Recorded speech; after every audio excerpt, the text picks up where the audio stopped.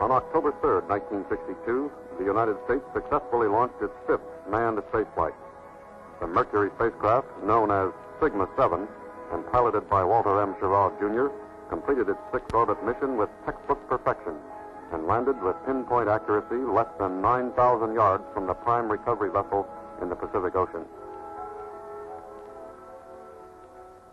After a medical examination, a short rest, and a complete discussion of his flight with Project Mercury officials, astronaut Schirra returned via Hawaii to the home of the Manned Spacecraft Center in Houston, Texas.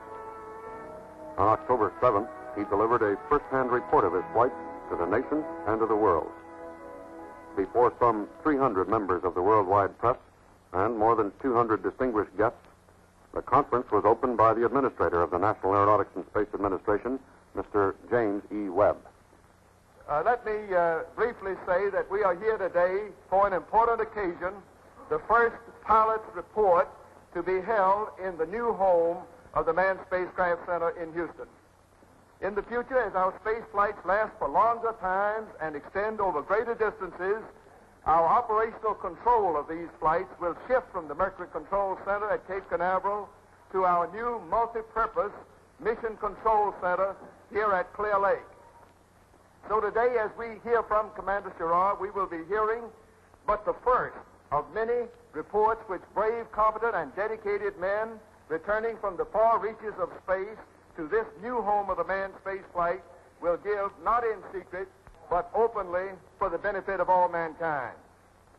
Now, at the time John Glenn made his pilot's report on his flight in Friendship 7, I stated that the space accomplishments of a great and powerful nation depended not only on the bravery and competence of pilots like Shepard, Grissom, Glenn, and now Carpenter and Schirra, not alone on the knowledge, skill, competence of large numbers of scientists and engineers.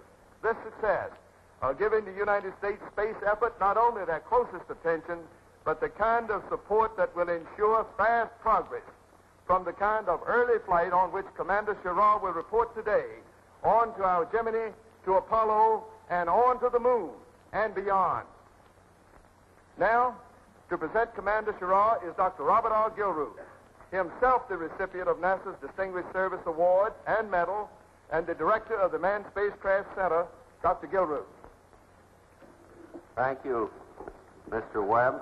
Ladies and gentlemen,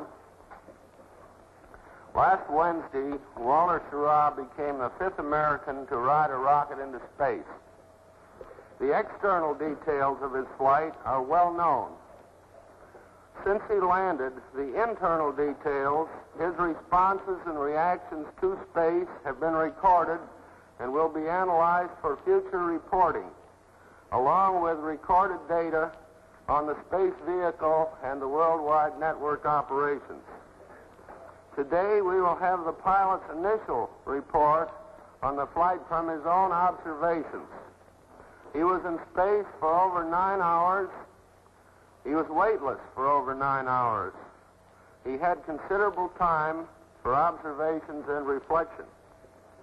Flights like Wally's are essential to our progress in space, but they are also very serious business, requiring the greatest of efforts on the part of many individuals and organizations.